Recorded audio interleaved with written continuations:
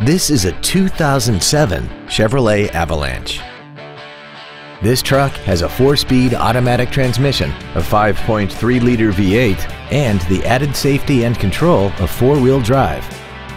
Its top features include memory settings for the seat's positions so you can recall your favorite alignments with the push of one button, heated seats, cruise control, a premium audio system, leather seats, a double wishbone independent front suspension, aluminum wheels, a low tire pressure indicator, air conditioning, and this vehicle has less than 52,000 miles. Contact us today and schedule your opportunity to see this automobile in person. Woltz Wind Ford is dedicated to doing everything possible to ensure that the experience you have selecting your next vehicle is as pleasant as possible. We are located at 2100 Washington Pike in Heidelberg.